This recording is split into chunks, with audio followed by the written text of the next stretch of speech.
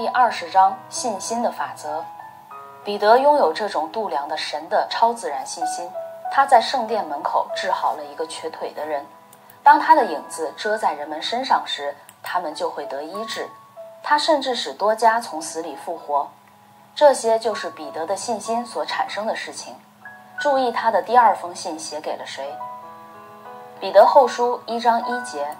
做耶稣基督仆人和使徒的西门彼得写信给那因我们的神和救主耶稣基督之意与我们同得一样宝贵信心的人。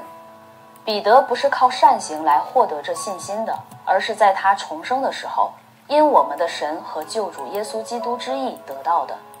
和彼得一样，当你重生时，你得到了同样的宝贵信心，这是同一度量的信心。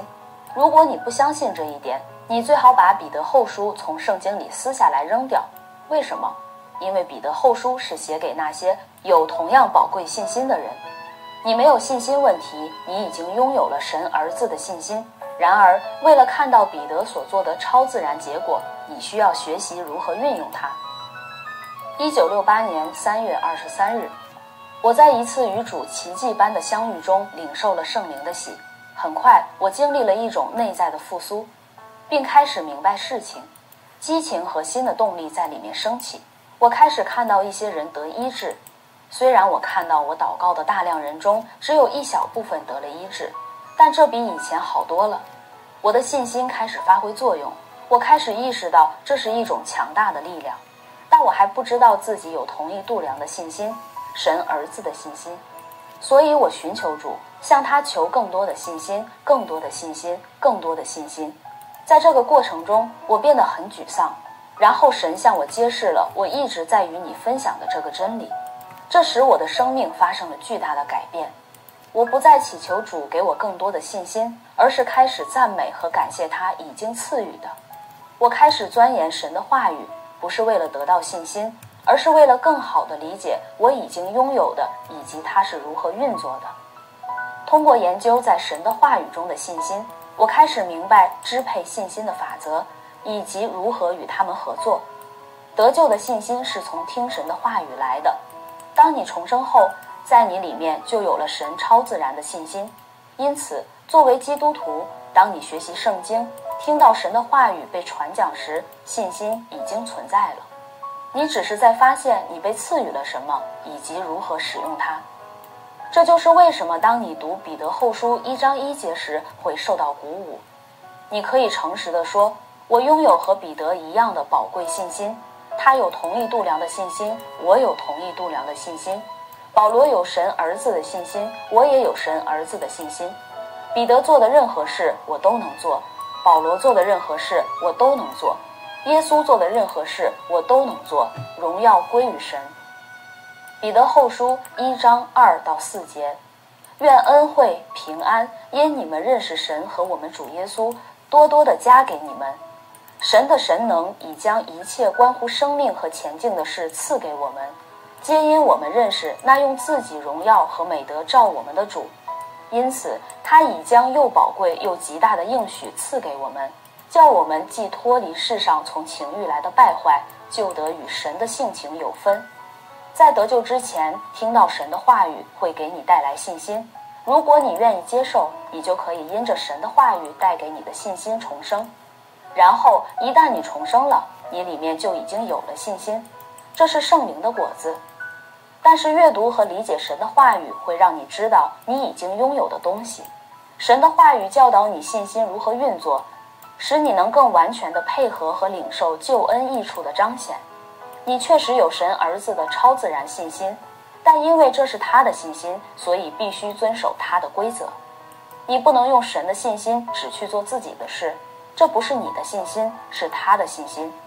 从某种意义上说，你在借用他。让这种超自然的信心产生效果的唯一方法，就是你按照神想要的方式使用它。从严格意义上讲，这不是你的信心。有些人说我属于亲信会信心。其他人则回应说：“我属于圣公会、卫理公会或长老会信心，就好像有不同的基督徒信心一样。然而，以弗所书四章五节表明，只有一主和一信，神的信心。你不能选择以任何旧的方式相信，因为如果你相信错了，它就不起作用。你必须以神所要求的方式来使用这种信心，因为这是他的超自然信心，而不是你人的信心。神的话语提到信心的法则，罗马书三章二十七节。既是这样，哪里能夸口呢？没有可夸的了。用合法没有的呢？是用立功之法吗？不是，乃是信主之法。虽然这不是罗马书三章的要点，但这仍然是一个真实的陈述。在你里面的神的信心是按信心的法则运作的，信心是按照神创造的法则来运作的。从这个意义上来说，“法则”一词的意思是恒定的、没有波动或变化的和普世的。这意味着信心对每个人都适用，在任何地方都是以同样的方式运作，就像万有引力定律一样。万有引力是恒定的，没有波动，也没有变化，而且是普遍的，适用于地球上的每一个人。这就是为什么我们称之为法则。例如，我在科罗拉多州依靠万有引力定律坐在椅子上。如果出于某种原因，你不能在中国做同样的事情。万有引力就是一个现象，而不是法则。为了使某事物被归类为法则，它必须以同样的方式适用于任何地方的任何人。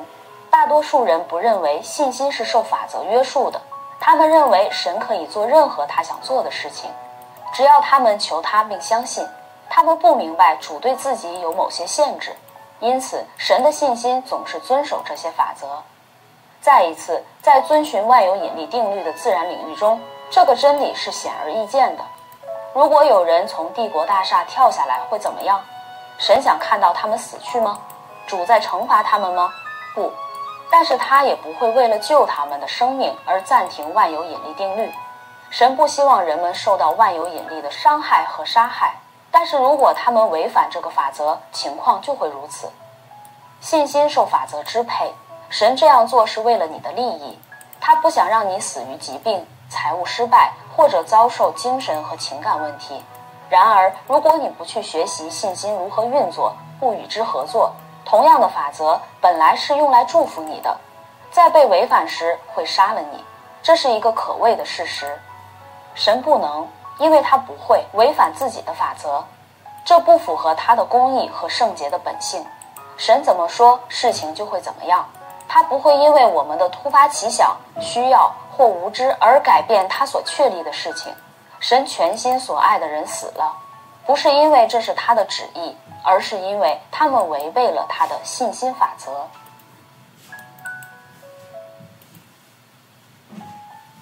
第二十一章：信心说话。信心的法则之一是你将拥有你所说的。箴言十八章二十到二十一节。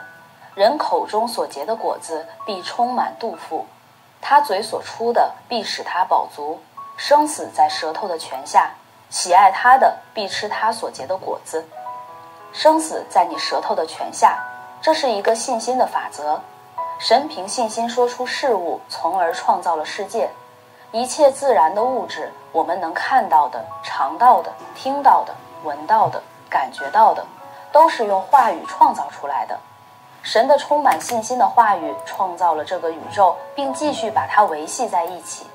如果神违背自己的话语，他创造的法则，整个宇宙就会自我毁灭。为什么？因为天地万物是靠神活的，大能的话语维系在一起。神的创造是受法则支配的。神的法则之一就是我们拥有我们所说的话语有力量，我们说出话语。说话的能力反映了在我们里面神的形象，这是一个非常重要的将人类与植物和动物区分开来的特征。我们说话，从某种意义上说，就是像神一样，因为言语有创造的能力。耶稣证实了这个法则，他对一棵无花果树说话，命令他死去。第二天早上，他的门徒们发现，一夜之间，这棵树就枯死了。在回应他们的惊愕时，耶稣宣告说：“马可福音十一章二十二到二十三节，你们当信服神。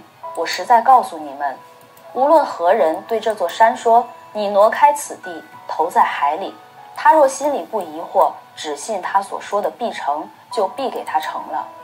信心是由言语释放的，这是支配信心的法则之一。生和死不只是生，都在你舌头的权下。你若重生，就有神儿子的信心。因为大多数基督徒不知道这一点，所以他们不使用它。少数相信的人仍然可能看不到它的正常运作，因为他们不明白和顺应这些支配信心的法则。如果你的医生告诉你你很快就要死了，你的话语会影响你所得到的结果。如果你知道神已经医治了你，你正努力去相信，你的话语将决定你的经历。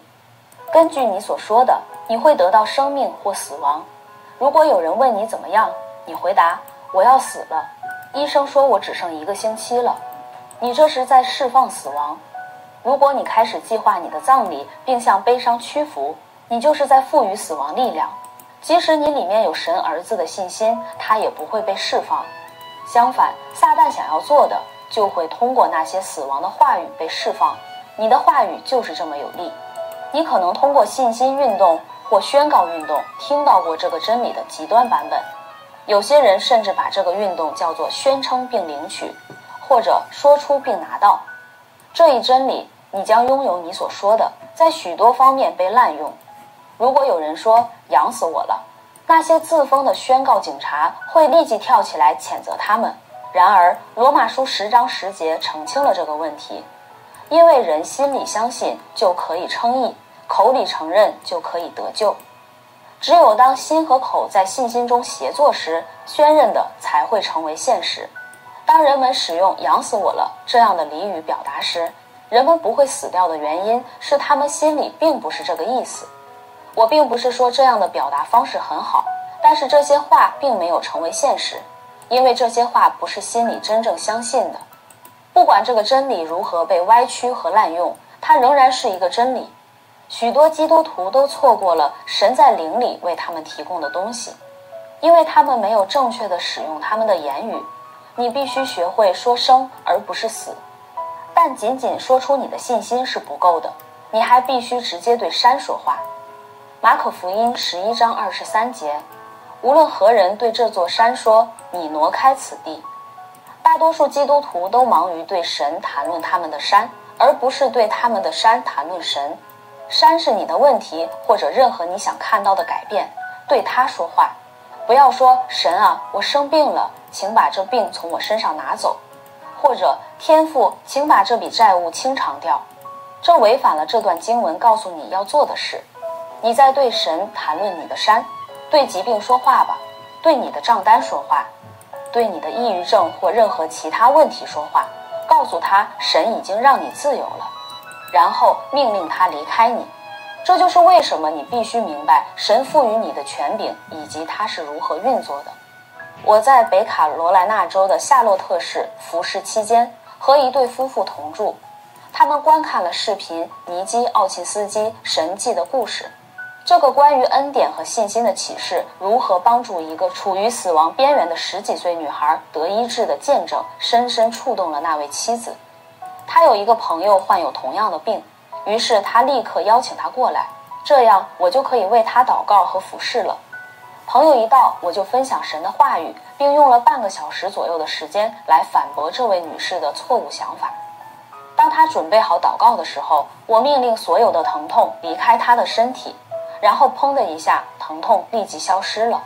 他开始赞美神，但几分钟后，他说：“我的腰后面还是火辣辣的痛。”为什么他不和其他所有的疼痛一起离开呢？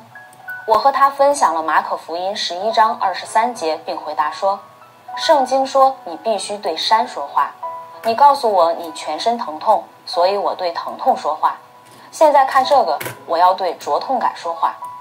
然后我奉耶稣的名命令灼痛感离开，立刻灼痛感消失了，而他在赞美神。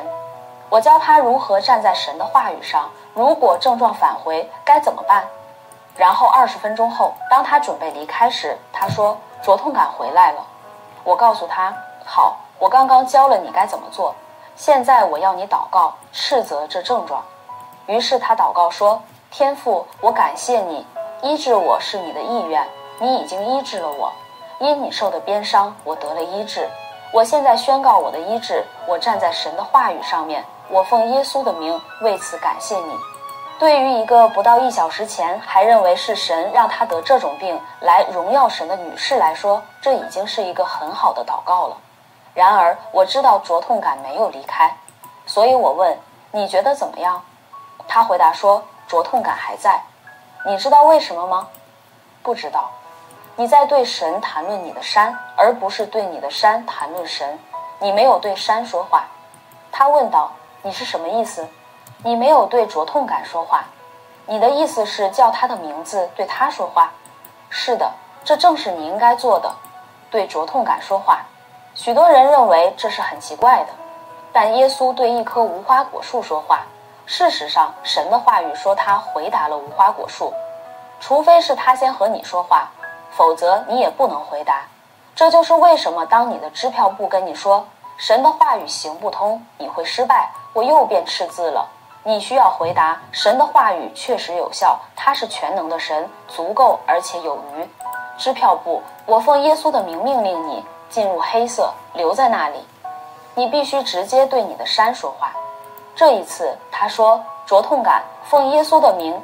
说到这儿，他停下来喊道。他消失了，他甚至还没说出命令，只是直接说出来，并用他在耶稣里的信心，砰的一下，灼痛感就离开了。这是这一原则被实际应用的极好的例子。话语是重要的，你不能说死亡、气馁、失败、沮丧，然后期待得到祝福，这是行不通的。为什么？支配信心的法则之一是，你将拥有你所说的。你不仅要相信神的话语，从口中说出与之一致的话语，你还必须直接对你的问题说话，并命令它与神的话语相符。感谢神已经成就的事，然后命令你的身体停止伤痛，你的财务运作正常，魔鬼离开你的境遇等等。拿起你的权柄去使用它，这是一些支配信心的法则。你已经拥有了神儿子的信心，你只需要学会如何使用它。一旦你明白了它是如何运作的，并开始合作，你就会开始看到效果。神创造了支配电的自然法则，尽管人类直到不久前才发现了电以及电是如何运作的，但从一开始电就一直在地球上。四千年前的人们本可以使用电，但他们不知道电的法则。由于我们已经学会了电的法则，所以我们使用它。事实上，我们一直在使用电。而且电是可靠的，神并没有因为人的败坏就拒绝赐给人电。大卫是一个非常敬虔的人，但他不知道电。摩西、基甸、所罗门也不知道。正是他们对电以及支配电使用的法则的无知，阻碍了他们获得电的益处。如果他们知道，他们就能获得。今天人们伤害自己并死去，不是因为他们是坏人。而是因为他们违反了信心的法则，神并不与他们作对，只是神已经制定了关于他的能力如何流动的法则，而他们不合作。了解这些法则是什么，并将它们付诸实践，以获得你的益处。神不会为你改变所有的法则，他不会因为你跳下帝国大厦就暂停万有引力来拯救你的生命，而杀死数百万其他人。那不是事情的运作方式。找到支配信心的法则并合作吧。到目前为止，我只论述了一些法则，大部分与说话有关，但还有很多很多。当你学习神的话语时，你就会看到它们。你会知道，耶稣鼓励人们按照他们的信心行事，因为信心没有行为是死的，行动是释放你信心的另一个非常重要的方式，还有饶恕别人等等。神的话语在你重生的时候带给你创始的信心，然后在你得救之后，他教你信心是如何运作的。如果你相信使耶稣基督从死里复活的同一信心已经住在你里面，那么剩下的就是学习如何与支配他运作的法则合作。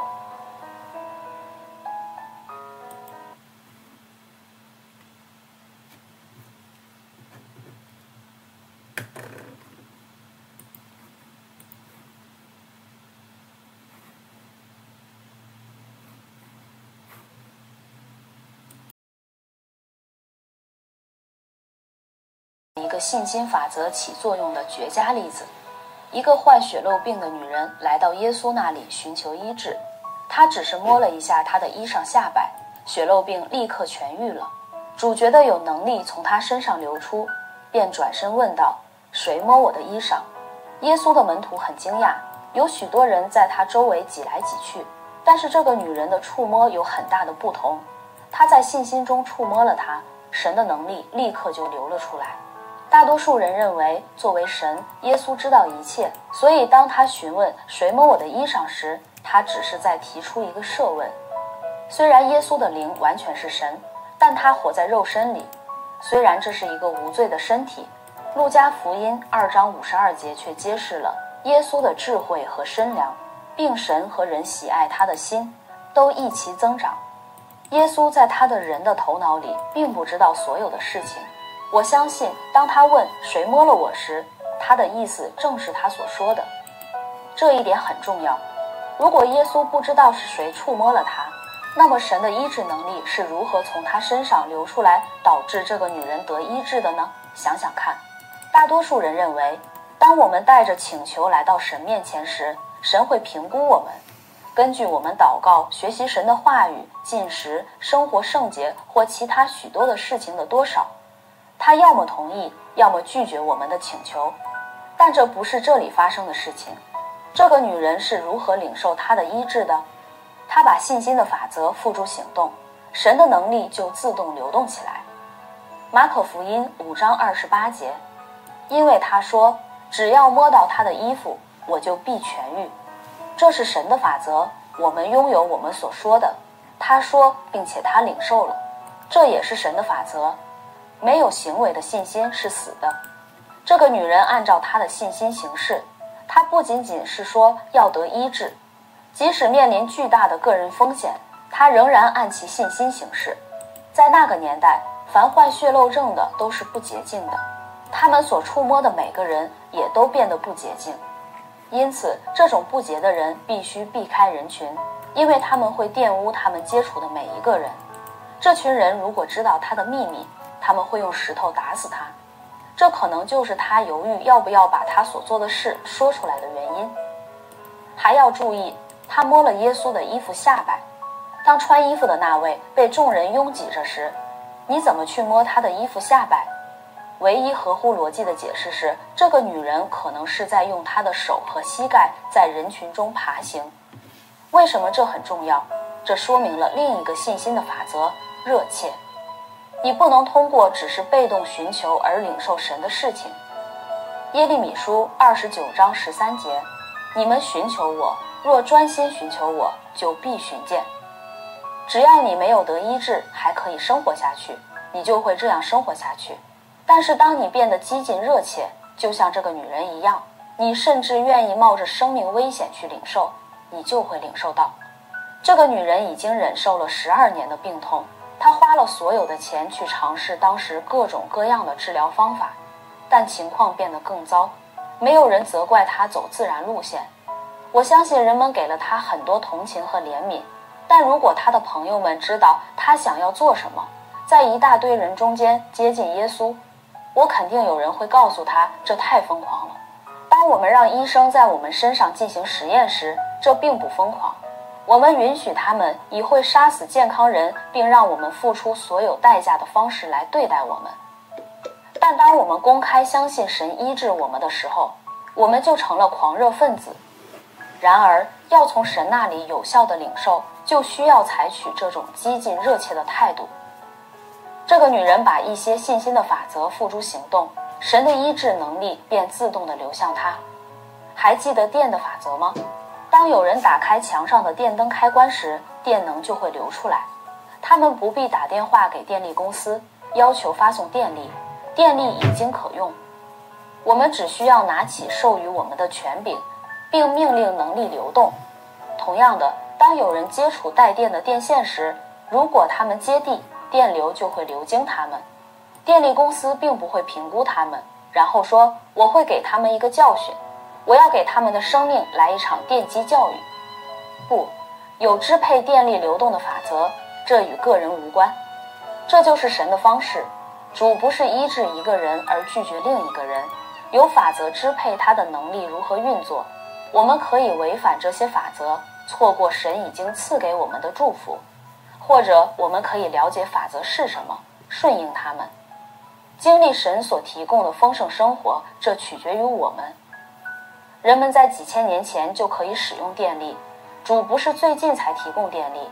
正是人类的无知、缺乏具体的知识，使我们处于黑暗之中。我对“无知”这个词的使用并不是贬义的。列奥纳多·达芬奇是个才华横溢的人，他发明了直升机和许多比他的时代早几个世纪的东西，但他对电一无所知。同样，有许多优秀的基督徒在许多方面都是真诚和非常敬虔的人，但是他们不知道神的信心法则。因此，他们没有得到他们想要的结果。他们不是坏人，他们只是不知道那些支配着神国运作的法则。从神领受不是关于他对你的感觉如何。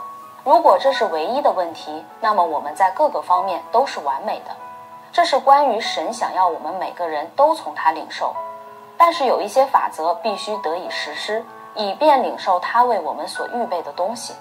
是我们对这些法则的错误应用，真正在要我们的命。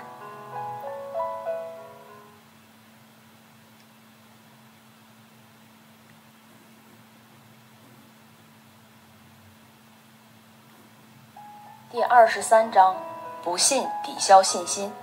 仅仅因为你知道自己已经拥有神的信心，并不意味着它会自动的在你的生活中产生胜利。你的不信将会抵消和阻碍信心，直到你摆脱它为止。你的问题不是缺乏信心，而是太多的不信。耶稣和他的三个门徒上了变相山，耶稣得了荣耀，他们就看见摩西和以利亚与他说话。这事以后，他们就从山上下来，到了众人那里。有一个人来见耶稣，跪下说：“主啊，怜悯我的儿子，他害癫痫的病很苦。”屡次跌在火里，屡次跌在水里。我带他到你门徒那里，他们却不能医治他。耶稣说：“哎，这又不信又悖谬的世代啊！我在你们这里要到几时呢？我忍耐你们要到几时呢？把他带到我这里来吧。”这个人把他的害癫痫的儿子带到耶稣面前。马可福音九章十七到二十二节显示，这种哑巴鬼导致的暴力发作。与我们今天所说的癫痫病很相似。父亲先把他的孩子带到门徒那里，但他们没能把鬼赶出去。耶稣不高兴，注意他的反应。马太福音十七章十七节：“哎，这又不信又悖谬的世代啊！我在你们这里要到几时呢？我忍耐你们要到几时呢？把他带到我这里来吧。这一点很重要。”因为今天在基督的身体里，没有很多人在神超自然的能力中运作。我们没有看到很多鬼被赶出去，或很多人得医治。整体而言，教会似乎无力赶鬼和治病。基本上，基督身体的大部分都是这样找借口说：“嗯，我们只是人，我们祷告求神来做。”但是如果我们没有看到任何事情发生，那是因为神掌管一切。这事一定不是他的旨意，或那些事情随着使徒们的过世一起消失了。我们提出所有这些不同的教义来为我们的无能和无效辩护。耶稣没有这样回应。如果他像一个敏感、多愁善感、感觉至上类型的当代传道人，他会说：“各位，对不起，我不应该在山上变相，与我父亲交谈这么久。”我让你们独自处理超出你们能力范围的问题，毕竟你们只是人。原谅我，对不起。我现在在这里，把那个男孩带到我这儿来吧。耶稣没有那样做，相反，他很生气，大声斥责道：“这又不信又悖谬的世代啊！不应该是这样。我在你们这里要到几时呢？我要在这里做这些事到几时呢？”耶稣一直在训练他的门徒。他已经赐给他们赶鬼和医治病人的权柄，他们本应该能够处理这件事的。所以耶稣实际上是在说：“各位，这是不能接受的。你们是不信又被谬的，不应该是这样。虽然我说这话是出于爱，但我祈求这话能被人记住并产生其影响。我们今天的基督教信仰是不信又被谬的。教会应该有对这世界的答案，但我们没有使用我们所拥有的。神已经给了我们一切，但我们没有释放它。我们无能力又无果效。大多数信徒只是简单的降低标准，说神迹和超自然力量与一世纪的教会一起消失了。那些人寻求神迹的方法是祷告：“神啊，我们请求你这样做。”而不是领受神已经完成的事情，拿起他们的权柄，命令并使之成为现实，这扭曲了主的本意。耶稣对门徒的回应，今天对我们也一样，这是错的，这不是我想要的方式。人们应该能够到我们这里来得医治、释放和祝福，但是当病人今天来到一个典型的施工者面前时，施工者会把他们送到医生那里去。穷人被送到政府或其他社会救济机构，当精神或情绪不安的人请求帮助时，他们就会被送到心理医生那里。不应该是这样。神的答案在神的话语和基督的教会里。我们不应该把人送到别的地方。基督的身体在这方面确实失败了。这就是没有更多的人归向基督的一个重要原因。教会没有把神描绘成一个能解决生活中所有问题的神，典型的教会只会处理永恒的问题，而把现在的问题留给人去解决。人们看不到教会与日常生活的相关性，这不应该。与耶稣遇到患癫痫孩子时的情况相比，今天的情况并不会令他更高兴。马太福音十七章十八到十九节，耶稣斥责那鬼，鬼就出来。从此，孩子就痊愈了。门徒暗暗地到耶稣跟前说：“我们为什么不能赶出那鬼呢？”